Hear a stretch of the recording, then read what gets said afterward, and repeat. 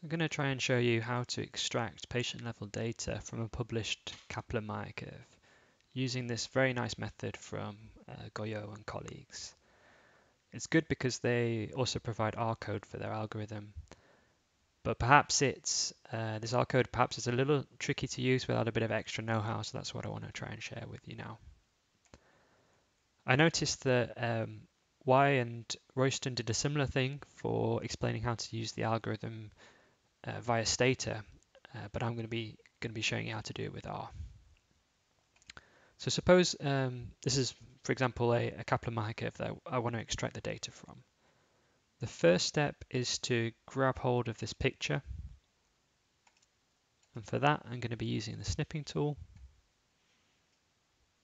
Let's just save that.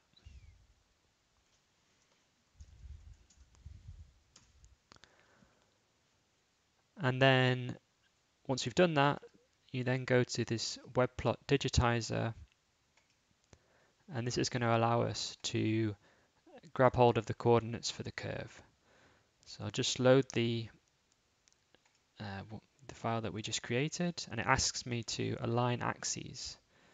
So this means choosing two values on the x-axis, say here and here, and two values on the y-axis, say here and here. So on the x-axis I went from 0 to 26. On the y I went from 0 to 100, but I'm just going to leave that as 1, so I'm going to keep it on the probability scale. And then what you have to do, so say you want to capture the blue curve, you just have to click through it. So just click along here. As you can see I'm doing this very quickly, but you should really take some care over this. Just want to grab hold of all of these coordinates. So just bear with me a second.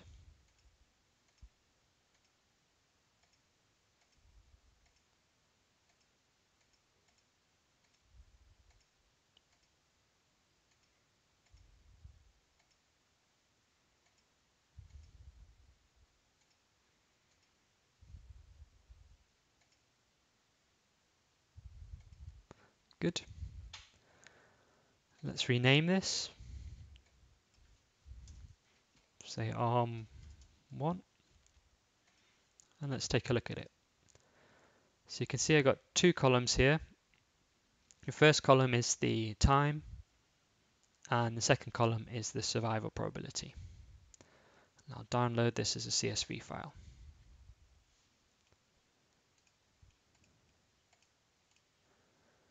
Now for the next step, I'm going to need RStudio. So let me just load that up and bring that in here.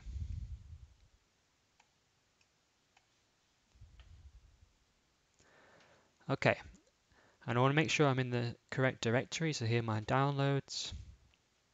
And this file here, arm1.csv, this is the file I've just created. Let's have a look at it again. So here you see the, the two columns. First column was the time, second column was the survival probability. I've noticed here that the very first survival probability is actually above 1, so let's just quickly correct that. And the next step is to grab hold of this R code from the algorithm from Guyot and colleagues. So I'll just copy all of this and I'll bring it into RStudio. Okay, so let's have a look at this code. Um, the code's quite lengthy, so it's, it's quite a lot of it, quite a complex algorithm. But essentially what it does is takes a couple of inputs. So one of the inputs, is a DigiServe file, this is a, a file from the webplot digitizer, so such as the one we just created. And it also asks you to input uh, some information about the numbers at risk at risk at different time points. It then sort of goes through the whole algorithm and you see eventually what it does is it outputs IPD, so this is individual patient data. Um, so eventually, yeah, you get the IPD and, and this extra analysis here I'm not interested in. So I'm just going to get rid of that. And my target will be to get hold of this IPD. Okay, so going back to the input, um, yeah, let's split this up a little bit. So um, the first thing we have is, is loading a few R packages, so that's fine. I can do that straight away. Let's do that. This next section is asking for um, providing a, some paths and names of paths and files. I won't be using the same paths and files, so I'm going to uh, get rid of that as well. Here, total number of events. Um, if you knew the total number of events in the data set, then you could input that here, but in this case I don't, so I'm just going to leave that as NA. And the arm indicator, I'm just going to keep that as 1. Uh, so I can load those. Okay. So this next little section is, so here it's reading in the uh, the file that comes out of the webplot digitizer. Uh, but in my case, I have this, this CSV file, and I only have two columns. So here you can see it's it's creating a variable t.s for the, the time column and a variable s for the survival column. So I'm just going to adjust this to reflect what I have. So I have a CSV file called arm1.csv and I don't have a header. So okay, and then my time is in the first column and survival probability is now in the second column. Okay. So now I just need to look at this next little chunk here. So here this is about asking about the, the numbers at risk. Um, so if I go back to my Kaplan-Meier plots, so so far I've provided it with the the curve here, but the additional piece of information I have along the bottom is the numbers at risk at the start of um, various time periods. So I'm going to provide this information as well. But I'm not going to do it using a file, so I'm going to I'm just going to put this in manually. So let me just delete this. So I'm not I don't have a pub risk file. I'm just going to input these manually.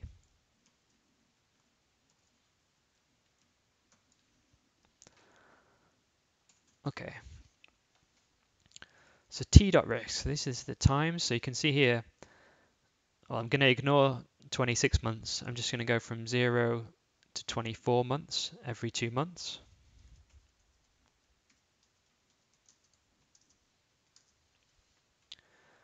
And the numbers at risk, risk, I'm just going to input this manually. So how can I do this? It's uh, maybe.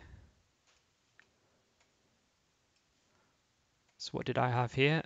I had 80, then 70, then 62, then 57, then 49, then 43,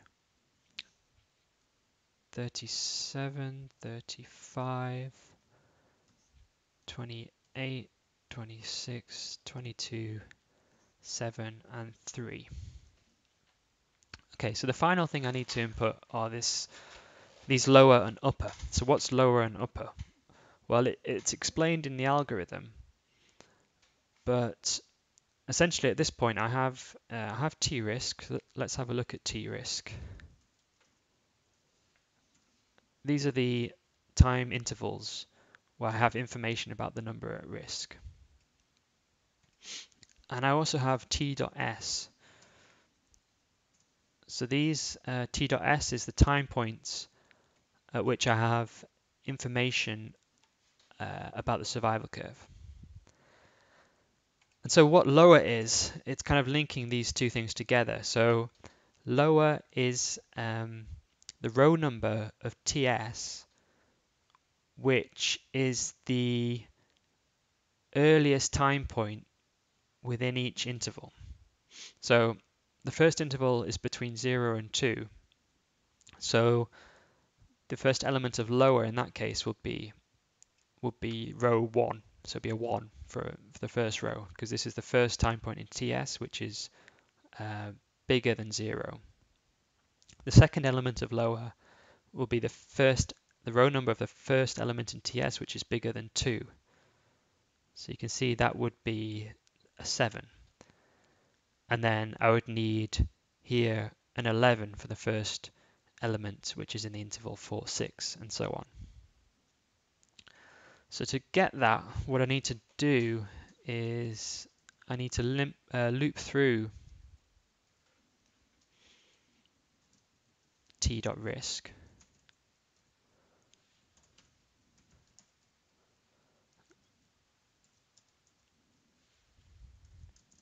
I need to look at which rows of, of TS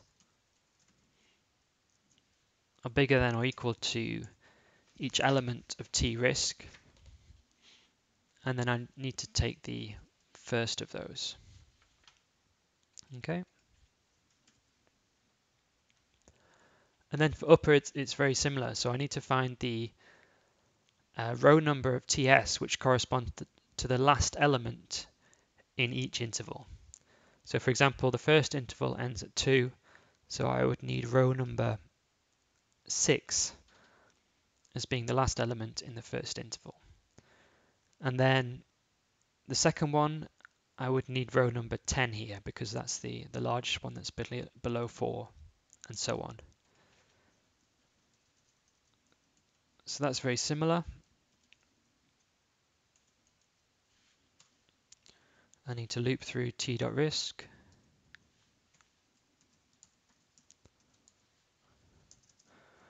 And now I need to know which t.s are lower than x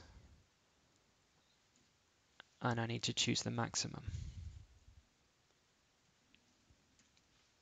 Okay, except um, I need to start at I don't want to start at zero, I want to start at two in this case. So let me do it this way. So I'll get rid of the first element here, and then I'll just add something very large to the end.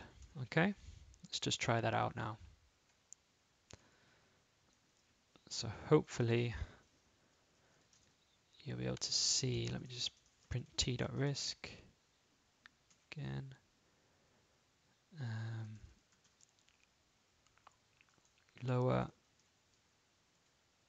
and upper. Okay. See, the first interval is between 0 and 2, and that's between rows num row numbers 1 and 6. The second interval is between 2 and 4, and that should be between row numbers 7 and 10, and so on. So yeah, this is looking quite good. Okay, so that's it. So now I can um, run the whole thing.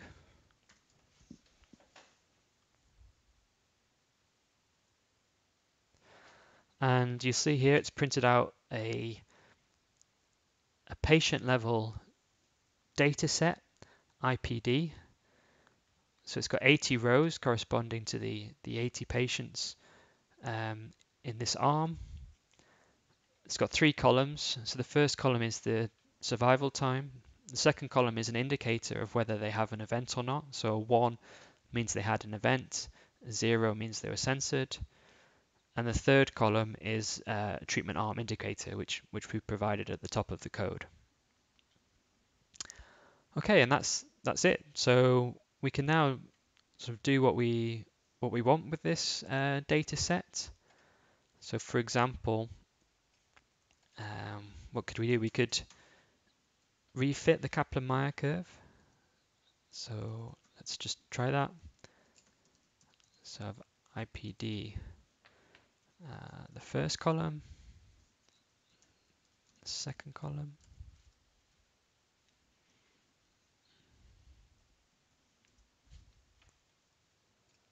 Go and just plot that.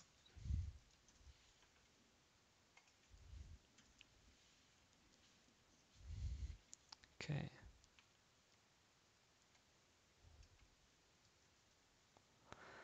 Okay, so let's uh, let's see. So on the left here you have the blue curve, the original, and on the right you have the the recreated version um, using the um, extracted data. What's nice here is you see you've got the, the confidence interval. So I think this is the big advantage here. If you're interested in, say, a confidence interval for the median, you can get that here, even though you don't have the information here. I did, um, before I um, started this video, I actually made um, a corresponding data set for the uh, the other arm in this uh, Kaplan-Meier plot. So let me just load that up here. So save that as IPD 0 to our data. Okay.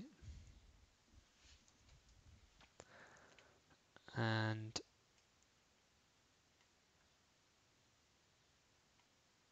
here it is.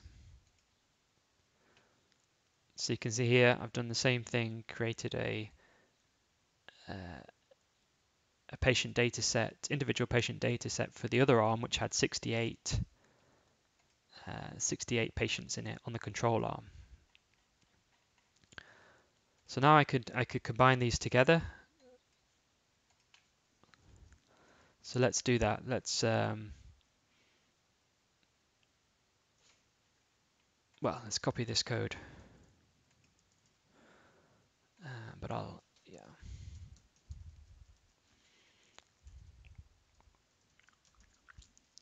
PD0.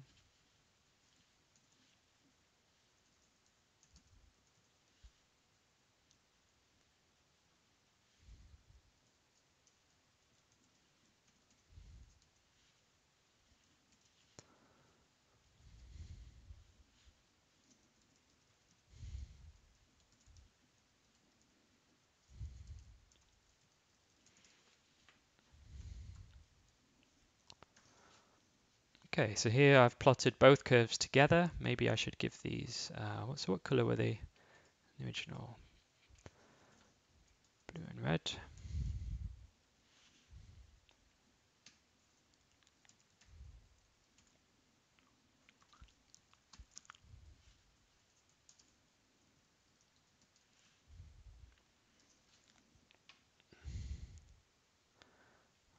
Wrong way around.